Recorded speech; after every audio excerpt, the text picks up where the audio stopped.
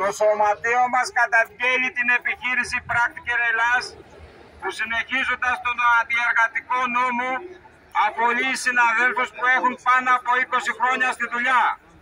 Συγκεκριμένα η επιχείρηση εδώ στο κατάστημα της Πάτρας πριν τα Χριστούγεννα είχε προχωρήσει σε τρεις απολύσεις και δεκάδες επιπλήξεις συναδέλφων για γελίες αφορμές.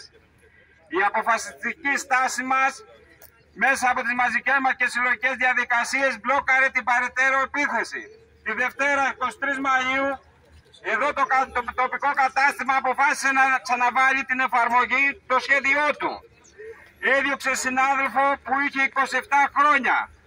Ο συνάδελφος ο Γιώργος είναι μαζί μας, συμπαραστέκεται στον αγώνα και είναι μπροστάρης για να μην ξαναγίνει άλλη επίθεση και να μην μας φάνε τις αποζημιώσεις, δηλαδή τον υδρότα μας.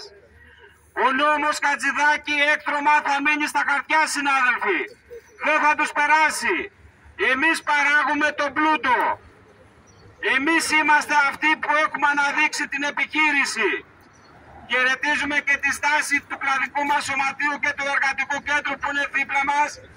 Επίσης χαιρετίζουμε και τους καταναλωτές που τους γύρισαν την πλάτη σήμερα.